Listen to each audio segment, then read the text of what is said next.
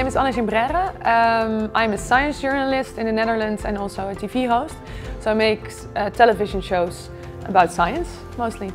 So I chose to be a member of the jury because I am very interested in science. Obviously, I've always have been, um, but also because I make television. So I'm also interested in how do you tell a story? How do you make something comprehensible, but also how do you make it interesting to watch? And I think a science documentary, international science documentary film festival is actually the perfect way to, uh, to learn some new stuff. So I experienced being a jury member um, actually as something very interesting because uh, usually I'm on the side of the maker and now I'm actually on the side of the viewer. So I, I get to watch this, this story and, and ask myself, do I like the story? Do I like the movie? Do I like the way they, they, they, they, they give it to me? And also I met some new people, so um, so far it has been good.